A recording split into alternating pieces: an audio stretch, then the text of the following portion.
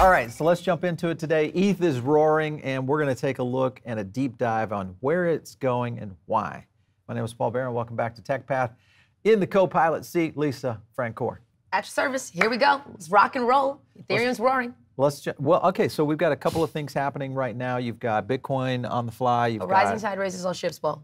and you've got Bitcoin. So Mm-hmm, the 2 the two masters of the universe are out there pushing, and you've got kind of the whole alt- altcoin brigade following suit. That's right. right now. So the market's up pretty considerable. I want to jump to this first story. Here's what traders expect now that ETH's price is over 3K. First of all, we did a, a video last week, London right. Hard Fork. Thanks, guys, for watching. Um, and we kind of looked at and predicted what we saw would be an over 3K run on ETH. Did happen. Uh, some interesting things You're welcome. here. some interesting things here. Uh, this week's London Hard Fork completed, no hiccup. Everybody was looking at 31. It's made it. And we've looked at some pretty bullish uh, momentum, uh, you know, scenarios that have kind of played into this. So here's my thing. Um, I'm still always that forever pessimist, Okay. and I'm always worried about are we getting baited into a bull trap? You know, I mean, listen. this is a uh, high bull trap. To, to your to your pessimism, I'm a uh, eternal optimist, and um, I've I've been very vocal about my affinity uh, for Ethereum, and I think that one of the things about the London hard fork uh, that may not be getting as much attention is the number of uh, the number of um, coins that are being burned. Yeah. Right. So when you look at millions upon millions of coins being burned, that means that the supply is Sure. decreasing. The demand, on the other hand, is not decreasing or abating. It's continuing to rise, and that right there is what's a part of what's driving the value. Yeah, and I would agree that that to a certain extent. But you remember, EIP 1559 did not really address the whole transaction scenario. Correct. Uh, you still have very slow transactions on ETH. You still have a scenario where the cost has not been dramatically reduced. It's been reduced, reduced some. This is primarily on the miners. That's you know, correct. in terms of the, their profitability. I did, though, point out this uh, topic right here, Rekt Capital. This was a tweet. Uh, ETH manages a dip, but not deep enough. Now, the point about Rekt Capital is he has not been a huge ETH lover. Sure. But I mean, he, I would say he's very conservative in some of these, and a lot of times he'll pick uh, losers and winners. But I was surprised that he was very strong on where ETH is going. So And let's not forget, you know, we have. Elon Musk talking about it's in his portfolio. Yep. Um, we also have Raoul Pal, who's like Oh, one of the most bullish. he is the man. um, yeah, when it comes a- to ETH. I don't know if he would consider himself an Ethereum maximalist. oh yeah, but for sure. 20K uh, for one coin. Yeah. Uh, we're literally just scratching the surface. But one thing I will say to address the uh, issues with the transaction fees is that you know savvy users. Um, we have to be careful Yeah. in fees. You know, you don't want to pay more than absolutely necessary. So just kind of keep that in mind. But the last thing I'll say in relation to ETH is that the utility, you know, far surpasses um, NFTs, for example, and there's so many different coins being built on the Ethereum blockchain that um, I'm very excited to see, you know, what the future holds. Yeah. So cont- I'm a long-term uh, investor here. I'm not trading. Yeah. So to your point here, uh, Ethereum burns 36% of Mm-hmm. new coin issuance over the last two days. Uh, since the act- activation, 5,000 ETH, 14 million. So not not traumatic, but that's a significant amount, you know, to a certain extent. sounds like scarcity to me. Average free average fees on Ethereum have increased slightly since the upgrade, the, since since it went live. So that again goes back to my whole concern on this whole fee architecture. Still, ETH 2.0 is going to be the holy grail. I know that's into next year, uh, and Vitalik and his team are kind of, to a certain extent, his whole statement in the past has been that they're not. It's not a technology barrier that they're dealing with. It's people That's right. you know that they're trying to get to. So, so let's pick up this story right here, which is the buying spree on the top 10 Ethereum wallets now owned. Ah. This is a big number. Mm-hmm. 20.5% of ETH supply. That's that's 10. I mean, 10 wallets. But here was the thing that's very interesting, and like 10 we, we talk about when a good time to get in and to get out is, and they bought the dip. Yeah. You know, they they realized profits, and then they on the dip. That was when you started to see a pretty substantial uptick in in in purchasing. So, you know, it's like You would think that would spread out a little bit. I mean, on Bitcoin, it's like the top 100. uh, You know, there's some there's some variations. But here's the thing: when we move to a proof of stake, you know, Mm-hmm. the way that proof of stake works is that the more coins you hold, the more um, influence you have when it comes to validating transactions on No the doubt. network. Yep. So it's going to be very interesting to see how that kind of parlays into the growth of, of the network.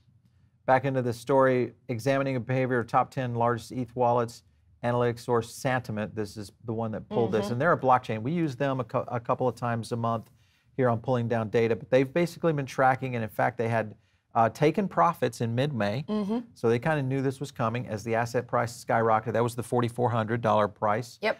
uh, of around 4,400 at the time. Those addresses had sold off some portions, and they were responsible for about 18% of all ETH in circulation. So they've gone up a little bit in terms of where it's going, but they did outline now that they have accumulated 2.1% more in the last 41 days as a result. That didn't seem like a lot to me. Sure. You know, with the fact that it, ETH went down to 1,800 bucks, Mm-hmm. I, I felt like if I was an ETH, and I am an ETH holder, I, that's when I accumulated. You know, I accumulated ETH in the 18 to 2,300 dollar range It for was sure. it was totally undersold at that point. Yeah. Like it was a great time to get into the market, and I think that there was uh, a bit of skittishness in relation to the hard fork and wh- how that would impact the um, how that would impact the network. But all in all, I mean, listen, people are very very bullish on ETH. Will the bull run continue now Yeah. that it's rebounded? Do you have any price predictions, Paul? I like to put them on the spot. All right, so we're going to look at two things. One is we looked at ETH, and we've been looking at it over the past 30 days. We've stayed on it pretty tightly uh, for all of you because I know there's a lot of ETH people out there, and you guys are just into it. Uh, so we pulled up our data back uh, right here, which was in June 14th. We ran that sentiment score or that sentiment score, 4816. It was soft, and you can kind of see where and what happened with ETH. It was on its way to its uh, what was at the time a pretty good uh, potential purchase price, with the, which was around the 18, uh, even the $1,700 price range.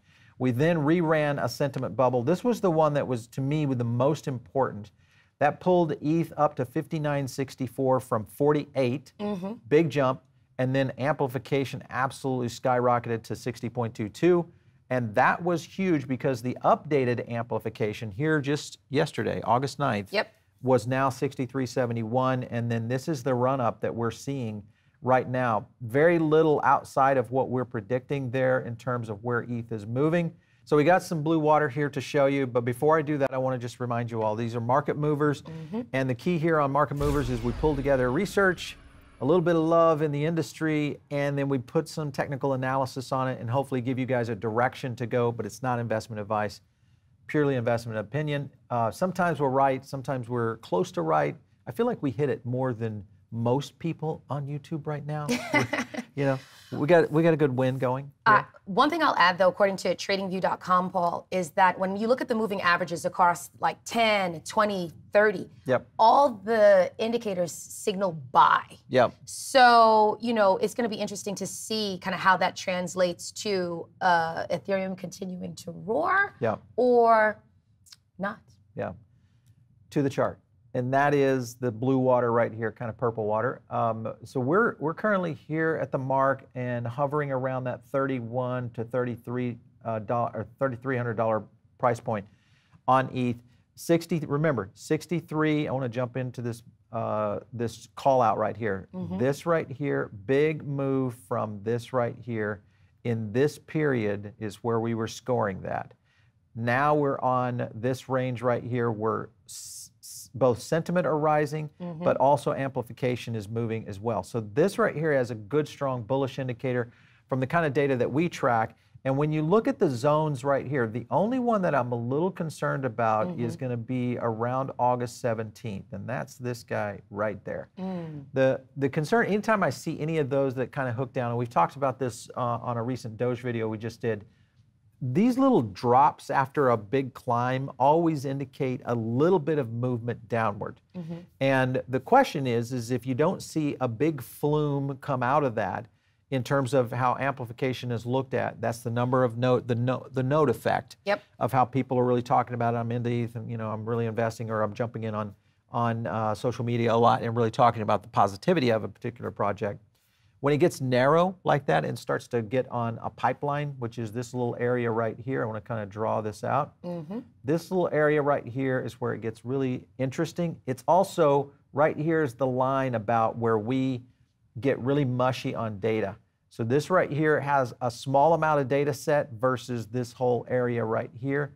A lot more data for us to look at so we can be, be a little bit more confident for this run. And we're looking at the data on a seven-day basis. Yep. So we want to be very, you know, Yep. transparent in, you know, the timeline associated with what we're evaluating. But what I will say is that, you know, with Ethereum, you know, taking its place in the spotlight, there was a lot of conversation, a lot of conversation around, you know, the London hard fork. Yeah. So, you know, now that we've crossed that milestone, um, how much of a, uh topic of conversation is, you know, will Ethereum be? Yep. Well, I think here's the thing for you guys when you're looking at at ETH right now, is this the place to buy at around the 30, you know, 33? I mean, I know- it's getting expensive, and I know this is definitely not the $1,800 days uh, any longer. But if you are dollar cost averaging up, this is just a way to do it. I've been doing it, and you just continue to pull your uh, track up because ETH is going to be one of those that is really going to, uh, I think, fly. And into 2022, this is what Raoul Pal talks about, Yeah. is that we could see this run 20,000. into uh, Q1 of Yep. 2022. So this will be really interesting to track. We're going to stay very tight on it. But I have to ask, do you think that there's a possibility for Ethereum to unseat Bitcoin as the front runner in the space? Market cap, Mm. maybe. Market cap for sure. Price wise, obviously not, but uh, pr- uh, market cap's definitely a potential. Last point here by the end of August, right now, out here in the zone that we don't typically report on is around 4,500. So that's a big jump right through here that we could see. Hurricane ETH is on its way. Well, for you traders out there, I don't envy you. Yeah. This is one I got be- diamond hands on. You know what I mean? This is going to be fun to watch. All right, so you guys are listening on, over on the podcast right now. Make sure and give us a like on Spotify. Thanks again for tuning in on Spotify. If you want to see all these charts, though, you got to jump in on. YouTube, hello. Make sure that you're clicking that subscribe button if you haven't already. Click the bell so that you can be alerted to these new videos. And of course, we want to hear from you. What are your thoughts on Ethereum, legislation? Look, your input helps inspire our content and what we cover. So let us know what your thoughts are, what you want to hear about, and keep watching to keep learning to keep earning.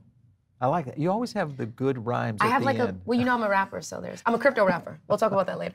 All right, you guys want to hit us up on uh, Twitter? Just uh, do it at Paul Barron. Uh, you can get me there. And of course, if you have an idea for a show, we also have an email to our producers. You can send that to producer at revernetworks.com. That is uh, kind of the parent company of Paul Barron Network. We run a couple of different networks here under the channel. We are heading toward the 100,000 sub mark. So you guys keep spreading the word to your yeah. friends, your family, your buddies. It's a movement, Paul. This is a place to go. It's a movement. We'll catch you next time right here on TechPath.